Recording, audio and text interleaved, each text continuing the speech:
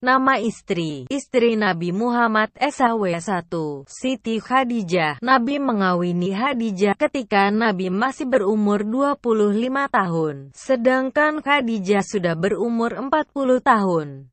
Khadijah sebelumnya sudah menikah dua kali sebelum menikah dengan Nabi SAW. Suami pertama Khadijah adalah Abi Hale Al-Tamimi dan suami keduanya adalah Oteak Al-Makhzumi. Keduanya sudah meninggal sehingga menyebabkan Khadijah menjadi janda. 15 tahun setelah menikah dengan Khadijah, Nabi Muhammad SAW pun diangkat menjadi nabi, yaitu pada umur 40 tahun.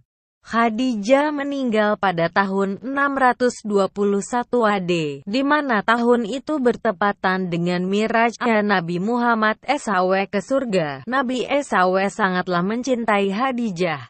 Sehingga hanya setelah sepeninggalnya Khadijah lah Nabi SAW baru mau menikahi wanita lain. 2. SAW Dea Bint Zam'at Suami pertamanya adalah Al-Sakran ibn Omro ibn Abed Samez yang meninggal beberapa hari setelah kembali dari Ethiopia. Umur Sawedea bin Zam'ah sudah 65 tahun, tua, miskin dan tidak ada yang mengurusinya. Inilah sebabnya kenapa Nabi SAW menikahinya. 3. Aisyah Esidede Ikia, seorang perempuan bernama Holeah bin Hakim menyarankan agar Nabi SAW mengawini Aisyah, putri dari Abi Bakres, dengan tujuan agar mendekatkan hubungan dengan keluarga Abi Bakar. Waktu itu Aisyah sudah bertunangan dengan Jober ibn al-Moteam ibn Odai, yang pada saat itu adalah seorang non-muslim. Orang-orang di Makkah tidaklah keberatan dengan perkawinan Aisyah. Karena walaupun masih muda, tapi sudah cukup dewasa untuk mengerti tentang tanggung jawab di dalam sebuah perkawinan. Nabi Muhammad SAW bertunangan dulu selama dua tahun dengan Aisyah sebelum kemudian mengawininya, dan bapaknya Aisyah, Abu Bakar pun kemudian menjadi khalifah pertama setelah Nabi SAW meninggal. 4. Hafsah bint Umar Hafsah adalah putri dari Umar, khalifah kedua. Pada mulanya, Umar meminta Utsman mengawini anaknya, Hafsah. Tetapi Utsman menolak karena istrinya baru saja meninggal dan dia belum mau kawin lagi. Umar pun pergi menemui Abu Bakar yang juga menolak untuk mengawini Hafsah. Akhirnya Umar pun mengadu kepada Nabi bahwa Utsman dan Abu Bakar tidak mau menikahi anaknya. Nabi SAW pun berkata pada Umar bahwa anaknya akan menikah demikian juga Utsman akan kawin lagi. Akhirnya, Utsman mengawini putri Nabi Esawa yaitu Umi Kalsum, dan Hafsa sendiri kawin dengan Nabi Esawe. Hal ini membuat Utsman dan Umar gembira. 5. Zainab BINTK YMA, suaminya meninggal pada Perang Uhud meninggalkan dia yang miskin dengan beberapa orang anak. Dia sudah tua ketika Nabi Esawal mengawininya. Dia meninggal tiga bulan setelah perkawinan yaitu pada tahun 625 AD 6. Salama bint Umayyah, suaminya. Abud Allah Abud al-Asad ibn al-Mogherab meninggal dunia, sehingga meninggalkan dia dan anak-anaknya dalam keadaan miskin. Dia saat itu berumur 65 tahun. Abu Bakar dan beberapa sahabat lainnya meminta dia mengawininya, tapi karena sangat cintanya dia pada suaminya, dia menolak. Baru setelah Nabi Muhammad SAW mengawininya dan merawat anak-anaknya. Dia bersedia. 7. Zainab bint Jahesa. Dia adalah putri bibinya Nabi Muhammad SAW, Umamah binti Abdul Muthalib. Pada awalnya Nabi Muhammad SAW sudah mengatur agar Zainab mengawini Zayd ibn Haritha al-Kalbi, tetapi perkawinan ini kandas tidak lama.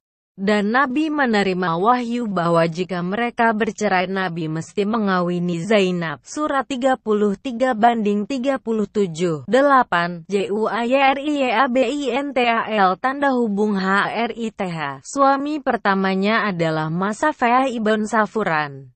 Nabi Muhammad SAW menghendaki agar kelompok dari Juwaireah, Bani al-Mustalak, masuk Islam. Juwaireah menjadi tahanan ketika Islam menang pada Perang al-Mustalak, Battle of al-Mustalak. Bapak Juwaireah datang pada Nabi SAW dan memberikan uang sebagai penebus anaknya. Juwaireah, Nabi SAW pun meminta sang bapak agar membiarkan Juwaireah untuk memilih ketika diberi hak untuk memilih.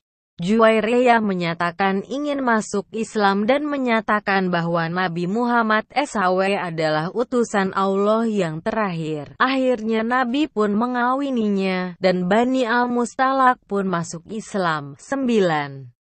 SAFYYABINTHWYAYY. Dia adalah dari kelompok Yahudi Bani Nadir. Dia sudah menikah dua kali sebelumnya, dan kemudian menikahi Nabi SAW. Ceritanya cukup menarik. Mungkin insya Allah disampaikan terpisah. 10. Ummu Habibah bint Sufyan, suami pertamanya adalah Aubed Allah Jahish. Dia adalah anak dari bibir Rasulullah SAW. Aubed Allah meninggal di Ethiopia.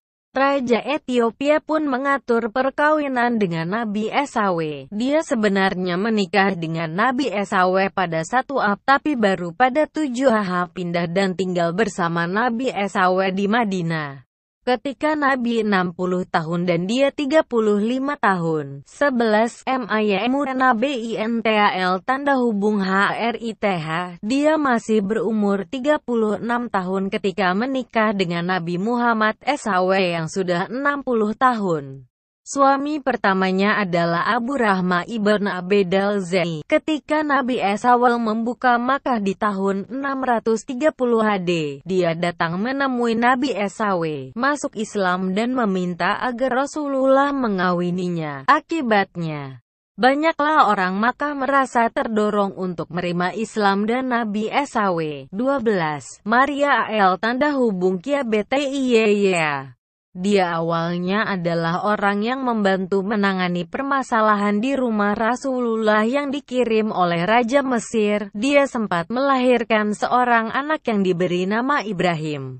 Ibrahim akhirnya meninggal pada umur 18 bulan. Tiga tahun setelah menikah, Nabi SAW meninggal dunia, dan Maria, teks buat Joan, akhirnya meninggal lima tahun kemudian, tahun 16 ah waktu itu. Umar bin Khattab yang menjadi iman sholat jenazahnya, dan kemudian dimakamkan di Al-Baqi. Terima kasih subscribe Hendra aja.